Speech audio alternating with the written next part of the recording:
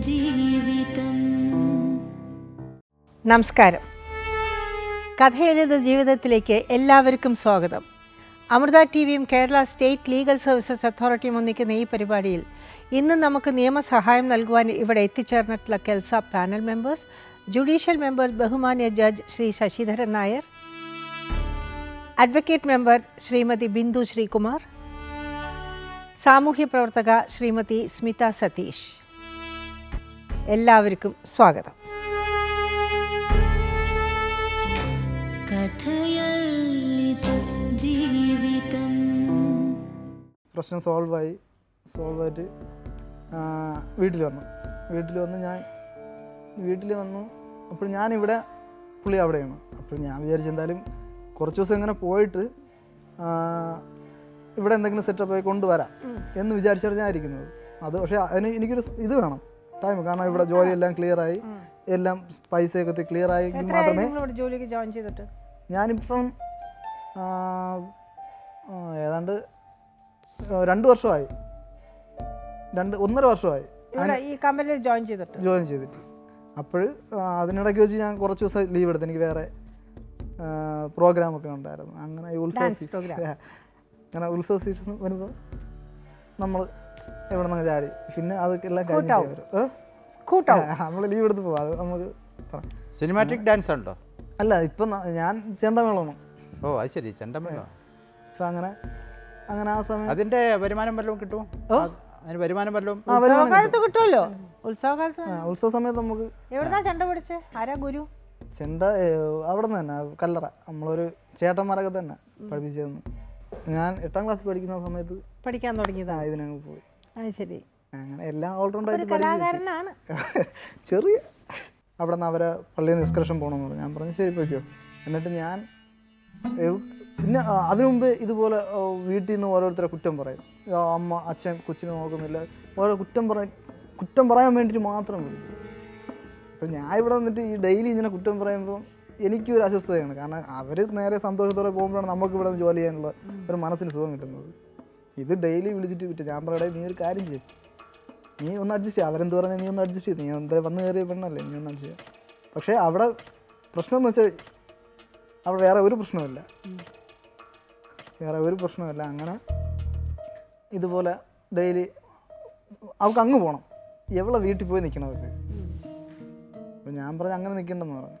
അങ്ങനെ എക്സ്കർഷൻ പോകണം അപ്പോൾ എക്സ്കർഷൻ പോണത് ആ, ഞാൻ ഇന്ന് നാളെ രാവിലെ പോകുമെന്ന് പറഞ്ഞു. രാവിലെ പോകണോ ഞാൻ പറഞ്ഞു ശരി നീ ഒരു കാര്യം ചെയ് നീ ഞാൻ തലേ ദിവസം കൊണ്ട് പൈസ കൊടുത്ത്. പൈസ കൊടുത്തിട്ട് ഞാൻ പറഞ്ഞു തലേ നീ രാവിലെയല്ലേ പോണത്? നീ അങ്ങ് പോകണ്ട വീട്ടിൽ നിന്ന് വണ്ടി അറിയാൻ വേണ്ടി പറഞ്ഞു. അവിടെ നിന്ന് രാവിലെ അങ്ങ് പോയി പോകണ്ട വീട്ടിന്റെ അത് വഴിയല്ലേ വണ്ടി പോകണം അപ്പോഴും പറഞ്ഞു ഇതേപോലെ അവിടെ നിന്ന് പ്രാർത്ഥനയുണ്ട്. എനിക്ക് ഇവിടെ നിന്ന് വണ്ടി വഴിയിൽ നിന്ന് ആരെയും കയറ്റിക്കൊണ്ട് പോകില്ല ഞാൻ പറഞ്ഞു ശരി.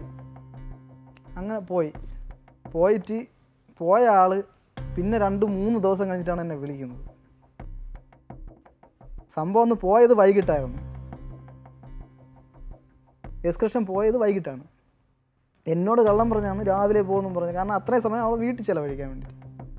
അങ്ങനെ അപ്പോഴെന്തായാലും ഒരു പോയിട്ട് ഇങ്ങനെ നമ്മളെ വിളിക്കായിരുന്നു കഴിഞ്ഞാൽ നമ്മൾ മാനസികമായിട്ട് ഒരു വിഷമം കാരണം നമ്മൾ ഇത്രയും പൈസയും കൊണ്ട് കൊടുത്തെല്ലാം കഴിഞ്ഞിട്ട് നമ്മളൊരു അല്ലെങ്കിൽ ആണ് പോയി എന്നാൽ ഒരു വാക്കൊന്നും പറയുന്നില്ല. ഈ വൈകിട്ട് പോണേനാണ് രാവിലെ പോയി വീട്ടിൽ നിൽക്കാൻ വേണ്ടിയിട്ട്. കാരണം അത്ര വീട്ടിൽ നി- എന്റെ വീട്ടിൽ നിൽക്കുന്നതേ ഒരു നിമിഷമാണത് അങ്ങനെ ഞാൻ വിളിച്ച് നീ എന്ത് നീ ഇത്രയും ദിവസം വിളിക്കാത്ത എന്താണെന്ന് ചോദിച്ചു. അങ്ങോട്ട് വിളിച്ചോ? ഓ അങ്ങോട്ട് വിളിച്ചോ? അല്ല എന്നിട്ട് വീട്ടിൽ വന്നിട്ടാണ് എന്നെ വിളിക്കുന്നത്. വീട്ടിൽ വന്ന് ഒരു ദിവസം കൂടെ കഴിഞ്ഞ് ഒരു ദിവസം കഴിഞ്ഞിട്ടാണ് വിളിക്കുന്നത്. ഞാൻ ചോദിച്ചു നീ പോയിട്ട് എത്ര ദിവസമായി? അത് ഇത്രയും ദിവസമായി. ഇപ്പോഴാണ് വിളിക്കുന്നത്. അത് അവിടെ റേഞ്ച് ഇല്ലായിരുന്നു? റേഞ്ച് ഇല്ലായിരുന്നു. പിന്നെ ഞാൻ ചോദിച്ചു അവിടെ റേഞ്ച് ഇല്ലായിരുന്നു. നീ വീട്ടിൽ വന്നിട്ട് വിളിക്കാത്തത് അത് വീട്ടിൽ വന്നപ്പോൾ എന്റെ വയറ്റിന് സുഖമില്ല. ഞാൻ പറഞ്ഞു ഫോൺ സ്വിച്ച് ഓഫായി ഞാൻ പറഞ്ഞു ഫോൺ സ്വിച്ച് ഓഫ് ആയത് ചാർജർ ഇരിക്കുന്നത് ചാർജർ എടുത്ത് ചാർജ് ചെയ്തിട്ട് വിളിച്ചോളൂ. അത് എനിക്ക് വയറ്റിന് സുഖമില്ല. പിന്നെ ഞാനായി കുത്തെറ്റിയാറ് ഞാൻ ഇവിടെ എങ്ങനെ അനുഭവിക്കണം എന്ന് പറയുമ്പോൾ വയറ്റിന് സുഖമില്ല. സംസാരം. അങ്ങനെ ഞാൻ ദേഷ്യപ്പെട്ട്. ദേഷ്യപ്പെട്ട് പിന്നെ ഇതായി. പിന്നെ വരുന്നത് ആറ് മാസം കഴിഞ്ഞിട്ടാണ് വരുന്നത്. അങ്ങനെ പോയി ആറുമാസം ഇതാണ് വിഷയം. ഇങ്ങനെയൊക്കെയാണ് വിഷയം. ആറുമാസം ഇതിനിടയ്ക്ക് ഒരു ശരി ഞാൻ വിളിക്കണമെന്ന് പറഞ്ഞ് കട്ട് ചെയ്യും. ഒരു മാസം കഴിയുമ്പോൾ പിന്നെയും വിളിക്കും. പിന്നെയും കരഞ്ഞ് വിളിച്ച് എനിക്കിനി അവിടെ നിൽക്കാൻ പറ്റില്ല. ഞാൻ പറഞ്ഞു എനിക്കിനി വേറെ ഒരു വഴിയില്ല. അവിടെ നിൽക്കാൻ എനിക്ക് ഇപ്പോൾ ഒരു വീടെടുക്കാൻ പറ്റത്തില്ല. കാരണം അത് തന്നെ വാടകയ്ക്കാണ്. ഇനി വേറൊരു വീടെടുത്ത് കൊണ്ട് പിന്നെ ഇവിടെ കൊണ്ടുവരണമെന്ന് വെച്ചാൽ ഇവിടെ ഞാൻ അങ്ങനെ ഒരു സെറ്റിലായിട്ടില്ല അങ്ങനെ ഒരു സെറ്റിലായിട്ട് വരുമ്പോൾ നിന്നെ കൊണ്ടുവരാം. അതൊന്നും പറ്റൂല. ലാസ്റ്റ് പോയത് എന്തിനു വേണ്ടിയിട്ടാണ് എങ്ങനെയാ പോയത്? പോയിട്ട് എത്ര മാസം? ആ ഇപ്പൊ പോയിട്ട് മൂന്ന് മാസമായി. അത് എന്ന് വെച്ച് കഴിഞ്ഞാൽ അത് ഇതേപോലെ നമ്മളൊരു താഴെ എന്റെ ഒരു സഹോദരിയുണ്ട്. എവൾ അവിടെ ചെന്ന് ഡെയിലി സിനിമ കാണാം. കാരണം വീട് ടി വി കംപ്ലൈന്റ് ആയതുകൊണ്ട് അവിടെ പോയാണ് ടി വി കാണുന്നത്. അങ്ങനെ ഞാൻ ഇതേപോലെ നമ്മൾ താഴെ ഒരു സഹോദരി ഉണ്ടെന്ന് പറഞ്ഞപ്പോൾ ഒരു സഹോദരി അല്ലേ ഉള്ളൂ ആകെ? സഹോദരി മുറയില്ലേ? ഓ ആ ശരി ശരി. കസിൻസ് ഒക്കെ. കുടുംബ കസിൻസ് എല്ലാവരും കൂടെ. അപ്പോൾ ഇതേപോലെ ഡെയിലി. അപ്പോഴൊരു നമ്മൾ ഞാനും നമ്മളവിടെ ആറുണ്ട്. ഞാനും അവളും കൊച്ചുങ്ങളും ആറ്റി പോയി കുളിച്ച് നല്ല സന്തോഷത്തിൽ വന്നു ഞാൻ. കുളിച്ച് സന്തോഷത്തിലൊക്കെ വന്ന് വീട്ടിൽ വന്ന് ഇറങ്ങി. വന്ന് ഇറങ്ങിയപ്പോൾ ഒരു ഏഴരയായി. ഏഴര ആയിട്ട് ഞാൻ പറഞ്ഞ് അപ്പോൾ പറഞ്ഞ് സിനിമ കാണാൻ പോകുന്നു ഞാൻ പറഞ്ഞു ഇനി സിനിമ കാണാൻ പോകണ്ട അപ്പോൾ എന്റെ ഒരു ഫ്രണ്ട്സും ഫ്രണ്ടും വരുമെന്ന് പറഞ്ഞു. അത് ഒരു കാര്യം നിങ്ങളുടെ വീട്ടിന്റെ അടുത്താ? നിങ്ങളുടെ വീട്ടിന്റെ അടുത്താണ്? ആ നമ്മുടെ വീട്ടിന്റെ ഇത് വീട്ടിൽ നിന്ന് പറഞ്ഞാൽ കുറേ അങ്ങ് താഴെ പോകണം അപ്പോൾ എന്റെ ഒരു ഫ്രണ്ട് വരും. അതൊരു ജോലി കാര്യം പറയാൻ വേണ്ടിയിട്ടാണ് വരാം. അപ്പോഴും ഞാൻ ജോലിക്ക് പോകുന്നില്ല. ജോലിക്ക് പോകുന്നില്ലെന്ന് വെച്ചാൽ അതിനു മുമ്പ് ഒരു സംഭവം നടന്നു. ഞാൻ ഇതേപോലെ ഇത് ഇതുപോലെ ഇവിടെ ജോലി ചെയ്ത സമയത്ത് ഞാൻ അങ്ങ് പോയി. അങ്ങ് പോയിട്ട് ഒന്ന് ഒരു ബന്ധമായിരുന്നു ഈ ബന്ധ സമയത്ത് നമ്മളൊരു നമ്മൾ അനിയന്റെ ഒരു വണ്ടി എടുത്ത് കാരണം വീടൊരു പൊക്കം പുറത്താണ്. അത്രയ്ക്ക് പൊക്കമുണ്ട്. നല്ല പൊക്കത്തിനാണ് വീടിരിക്കുന്നത്. അപ്പോൾ കുന്നിന്റെ കുന്നിന്റെ മോളല്ല കുന്നിന്റെ മോളല്ല ഈ റോഡ് റോഡിൽ നിന്ന് കല്ല് കെട്ടി മോൾ പൊക്കത്തിന് വെച്ചിട്ടുണ്ട്. ഒരു പത്ത് അടി പൊക്കമുണ്ട്. അങ്ങനെ ഹർത്താലിൽ ഹർത്താലിന് അന്ന് നമുക്ക് ഓട്ടമില്ല. അന്ന് ഞാൻ തലേദിവസം വീട്ടിൽ പോയിട്ട് അനിയന്റെ വണ്ടി എടുത്തുകൊണ്ട് ഒന്ന് കറങ്ങാനൊക്കെ പോയി.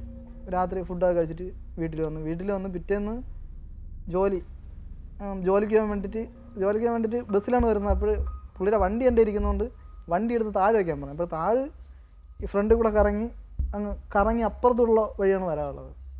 അങ്ങനെ ഞാൻ നേരെ സംഭവം എന്റെ വണ്ടി കയ്യിൽ നിന്ന് ആക്സിലേറ്റർ കൂടിപ്പോയി. വണ്ടി ഞാനും കൂടെ അങ്ങ് താഴെ വന്ന് വീണു. വണ്ടി ഞാനും കൂടെ താഴെ വന്ന് വീണ് എന്റെ കൈ കുഴ തെറ്റി.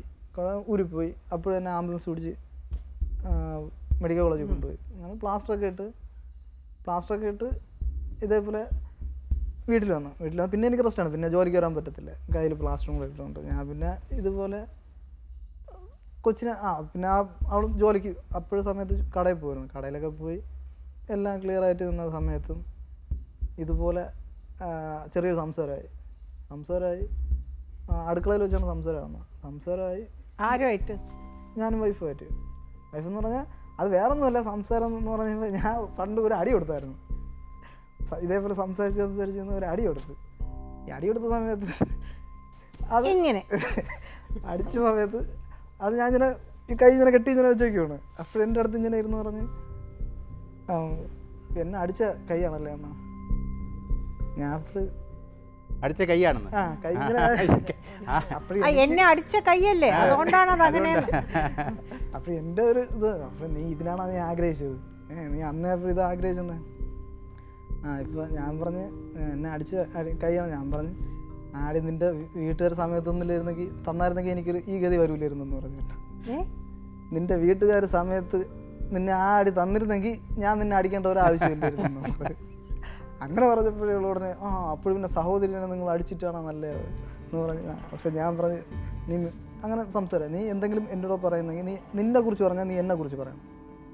നീ എന്റെ വീട്ടുകാരെ ഒന്നിനും ഒരിടത്തുനിന്ന് പറഞ്ഞു ഞാൻ എന്ത് ചെയ്ത് ഇതേപോലെ റൂമിന്റെ അങ്ങ് പോയി. ഞാൻ രാതൊക്കെ എനിക്കറിയാം സംസാരം ശരിയാവില്ലെന്ന് എനിക്കറിയാം. ഞാൻ നേരെ റൂമിലേക്ക് ഇറങ്ങി പോയി. പോയിട്ട് ഇതേപോലെ ഞാൻ റൂമിന്റെ അകത്തുനിന്ന് ഫോൺ എടുത്ത് അകത്ത് കയറിയാൻ പറ്റുമോ അകത്ത് പറയുന്ന കഥ രണ്ടുമൂന്ന് ചടപടയെന്നും പറഞ്ഞ് ഞാൻ അടച്ചു അടച്ചിട്ട് ഭയങ്കര സംസാരം.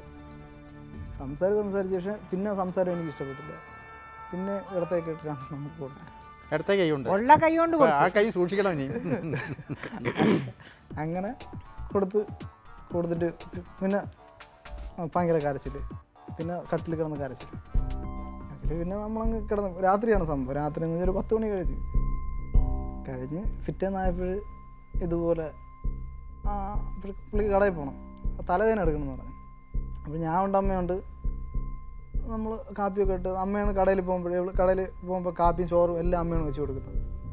രാവിലെ എണീറ്റ് അവൾ എണീക്കുമ്പോൾ തന്നെ അമ്മ കാപ്പിയും ഫുള്ള് ആഹാരം റെഡിയാക്കി വെച്ചേക്കും. അങ്ങനെ ഒരു എട്ടെട്ടരയൊക്കെ ആയപ്പോൾ അപ്പോഴേ എവക്ക് പോണത് ഒമ്പതരക്ക് ഒമ്പത് അരയാകുമ്പോൾ പോയാൽ മതി. ഭാര്യ എവിടെയാ? ജോലിക്ക് പോയി? ഇവിടെ അവിടെ ഒരു ഫാൻസി ഉണ്ട്. ഫാൻസി സ്റ്റോറ് ആ. അപ്പോഴിതുപോലെ എട്ട് മണിയായപ്പോഴേ ഡ്രസ്സ് വിട്ട് ഇറങ്ങി.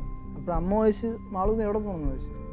അത് ഞാൻ ആശുപത്രി പോകണം എനിക്ക് തലവേദനയെന്ന് അപ്പോൾ പറഞ്ഞു ഇതേപോലെ നീ ഒരു കാര്യം ചെയ്യും ആശുപത്രി പോയിട്ട് നേരെ എങ്ങ് വരണം. അപ്പോൾ ചോ ചോറ് വയ്ക്കുന്നതേ ഉള്ളൂ. അപ്പോൾ അമ്മയ്ക്ക് നമ്മളോട് ഒന്നും പറയുന്നില്ല. ആ വരാനാ ഒന്നും പറയുന്നില്ല. ഇവൾ തന്നെ ഡ്രസ്സ് മാറി. ഓരിട്ട് പോകും. അപ്പം ഞാനും ആശുപത്രി ഹോസ്പിറ്റൽ നമ്മളെ വീട്ടിന്റെ തൊട്ടപ്പുറത്താണ് അവിടെ നമ്മളെ ആൾക്കാരെല്ലാം. അപ്പോൾ അങ്ങ് പോയി. പോയി അപ്പോൾ അമ്മ പറഞ്ഞു പോകുന്നതിന് നീ കടയിൽ പോകുമ്പം ഇവിടെ വന്നിട്ട് പോളൂ ആഹാരം കഴി കൊണ്ടേ പോവുള്ളൂ പറഞ്ഞു. പോകുന്നു പറഞ്ഞ് പോയിട്ട് പോയി ഒരു ഒമ്പത് മിനിറ്റ് കാണുന്നില്ല. അപ്പോൾ പിന്നെ അമ്മ പോയി അവിടെ തിരക്കി പോയി. തിരക്കി പോയപ്പോൾ ഇതേപോലെ ആശുപത്രി കാണിച്ചിട്ട് അതിനുമുമ്പ് ഒരു ഓട്ടോ പോയി. ഓട്ടോ പോയപ്പം അമ്മ ഈ പോണ ഓട്ടോയിലൊക്കെ നോക്കുവാണ്. എവളിനി പോയാൽ പോയി അപ്പോൾ നോക്കിയപ്പോൾ എവിടെ ഡ്രസ്സ് ഇട്ട് എവിടെ ഡ്രസ്സ് മാത്രം കണ്ടു അപ്പോൾ എന്റെ കൂടെ പറഞ്ഞാൽ പോയെന്നാണ് തോന്നുന്നത് ഞാൻ പറഞ്ഞു എന്തായാലും കുറച്ച് സമയം കൂടെ വെയിറ്റ് ചെയ്യും. ഇപ്പോൾ ആ സമയമായിട്ടും വരുന്നില്ല നേരെ ഞാൻ പറഞ്ഞു എനിക്ക് അമ്മ പറഞ്ഞു ഞാൻ ഇന്ന് ആശുപത്രി പോയിട്ട് വരാം. എന്ന് പറഞ്ഞു. അപ്പോൾ ആശുപത്രി പോയിട്ട് വരാമെന്ന് പറഞ്ഞ് അമ്മ നേരെ ആശുപത്രി പോയി. ആശുപത്രി പോയി തിരക്കിയപ്പോൾ ഇതേപോലെ പോയെന്ന് പറഞ്ഞു. ഒരു ഓട്ടോ കയറി പോയത്. അങ്ങനെ ഓട്ടോ കയറി പോയി. അങ്ങനെ അപ്പോഴും പിന്നെ പോയെന്ന് പറഞ്ഞപ്പോൾ ഞാൻ പിന്നെ നേരെ കടയിൽ വിളിച്ചു. കടയിൽ വിളിച്ചപ്പോൾ കടയിൽ ചെന്നില്ല. പിന്നെ വേറെ രണ്ടു മൂന്ന് വിളിച്ചിട്ട് കടയിൽ ചെന്നില്ലെന്ന് പറഞ്ഞു. ഞാൻ വിചാരിച്ചു എന്നെ പറ്റിക്കണം. ഞാൻ പറഞ്ഞു ചേച്ചി കള്ളം പറയൽ വന്നായത് അല്ലടാ വന്നില്ലെന്ന് പറഞ്ഞു. അങ്ങനെ ഞാൻ നേരെ ഇവളെ വീട്ടിൽ വിളിച്ച്. വീട്ടിൽ വിളിച്ചിട്ട് ഇപ്പോൾ പറഞ്ഞ് അവളിവിടെ കൊണ്ട് തലവേദന എടുത്ത് കിടക്കണം അമ്മ പറഞ്ഞു. അപ്പം ഞാൻ പറഞ്ഞു ശരി ഞാൻ ഇപ്പം അവൾ എന്റെ കൂടെ പറയാതെ വന്നു അപ്പോൾ അവിടെ ഉണ്ടാകുന്ന അന്വേഷിക്കേണ്ട എന്റെ ചോദ്യം അങ്ങനെ അന്വേഷിച്ചോളാം പറഞ്ഞു. അങ്ങനെ ഇതേപോലെ ആയി. ഒരു മൂന്ന് മണിയായപ്പം അപ്പോൾ മോൾ എന്റെ കൂടെ ഉണ്ട്. ഞാൻ മോളും കളി ശരിയൊക്കെ ആയിട്ട് ഇങ്ങനെ നിന്നപ്പോൾ ഒരു മൂന്ന് മണിയൊക്കെ ആയപ്പം കയറിയായിരുന്നു. കയറി വന്നിട്ട് ഇതേപോലെ പറഞ്ഞ് കയറി വന്നിട്ട് കൊച്ചിന് പാലൊക്കെ കൊടുത്തിട്ട് അപ്പോൾ അമ്മ ചോദിച്ച് മാളൊന്ന് ചോറ് കഴിച്ചാന്ന് ചോദിച്ചു. ആ ഞാൻ വീട്ടിൽ നിന്ന് കഴിച്ചെന്ന് പറഞ്ഞു. വീട്ടിൽ നിന്ന് കഴിച്ചെന്ന് പറഞ്ഞു അപ്പോൾ ഞാനൊരു പ്രശ്നം ഉണ്ടാക്കാൻ വേണ്ടി ഇങ്ങനെ നിൽക്കുവാണ് ഏ കാരണം ഇവൾ വീട്ടിൽ നീ എന്തിനാ ഇത്രയും താമസിച്ചെന്ന് പറഞ്ഞു പ്രശ്നം ഉണ്ടാക്കാൻ വേണ്ടി നിന്നപ്പോൾ ഞാൻ അങ്ങനെയൊന്നും ചോദിക്കുന്നില്ല. ഞാൻ മിണ്ട കൊച്ചിനെ കളിപ്പിച്ചുകൊണ്ടിരിക്കുകയാണ്. കുറച്ച് കഴിയുമ്പോൾ ഇവൾ കൊച്ചിനെ ഒരുക്കുന്നു. കൊച്ചിനെ ഒരുക്കുന്നു. ഞാൻ ചോദിച്ചു നീ കൊച്ചിനെ കൊണ്ട് അവിടെ പോകണമെന്ന് ചോദിച്ചു? അപ്പോഴേ അവളെ ബാഗിൽ നിന്നൊരു ഒരു കാർഡടിക്ക് എടുത്ത് വെച്ചിരുന്നു കാർഡ്? വനിതാ കമ്മീഷനിൽ കേസ് കൊടുത്തത്. എന്ത്? അടിച്ചേന്? വനിതാ കമ്മീഷനിൽ കേസ് കൊടുത്ത കാർഡ്.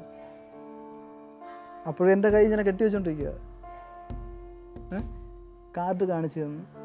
അപ്പോൾ ഞാൻ കാരണം അതുകൊണ്ടൊന്നും തന്നെ കാരണം ഈ ഒരു അടിയും കൊടുത്തിട്ട് കാരണം ഇത് വാശിയാണ്. കാരണം എവളെ വീട്ടിൽ ഞാൻ എവിടെ ചെന്ന് അത്രയും സമയം നിന്നിട്ട് ഞാൻ അന്വ അന്വേഷിച്ചോ? അല്ലെങ്കിൽ എന്ത് ഇതൊന്നും ചോദിച്ചില്ല. അതുവരെ ഞാൻ എന്റെ കൂടെയുള്ള ദേഷ്യം ഇങ്ങനെ വെച്ച് പോയി എന്റെ പേരിൽ വനിതാ കമ്മീഷനിൽ കൊണ്ട് കേസ് കൊടുത്തു. കേസ് കൊടുത്തിട്ട് വന്നപ്പോൾ ആർക്ക് എനിക്ക് എന്റെ അമ്മയ്ക്കോ സഹിക്കാൻ പറ്റിയില്ല.